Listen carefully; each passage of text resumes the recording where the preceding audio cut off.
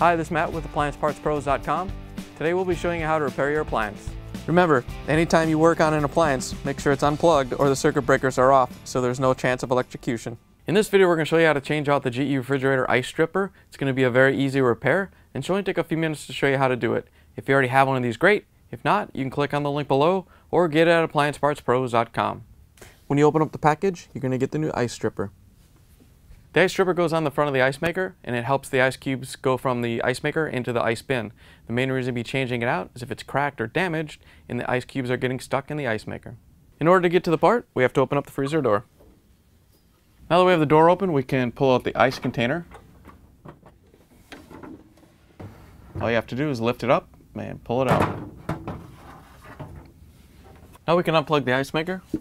We're going to reach in and pull up on the cord you may have to reach in with a long flathead screwdriver and release these little locking tabs so you can pull up on the cord.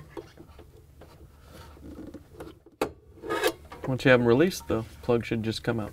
The ice maker is held in by these two quarter inch screws. We're going to use our quarter inch nut driver to take them out.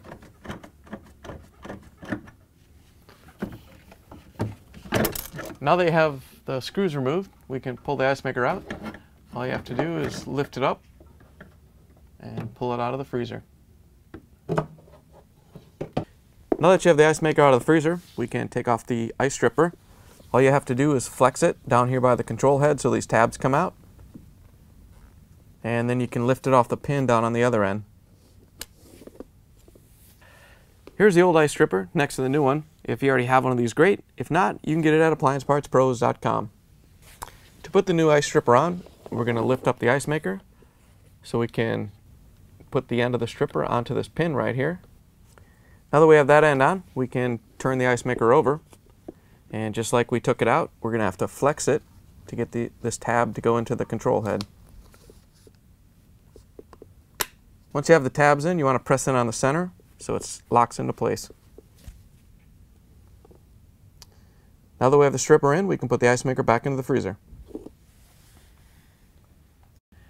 You want to lift it up into its position and make sure that the fill hose goes in the fill cup and that it sets on its little shelf. Then we can put the screws back in and plug it back in.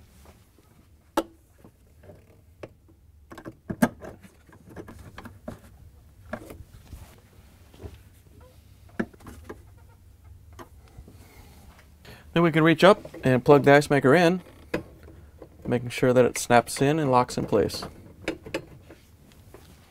To put the ice bin back in the freezer, all you have to do is line it up with the slides and push it back into place. Now that we have the part installed, we can close the freezer door, plug it back in, and make sure it starts to cool. Thanks for joining us for another successful repair brought to you by AppliancePartsPros.com. Check out our other repair videos on our site, Facebook, and YouTube.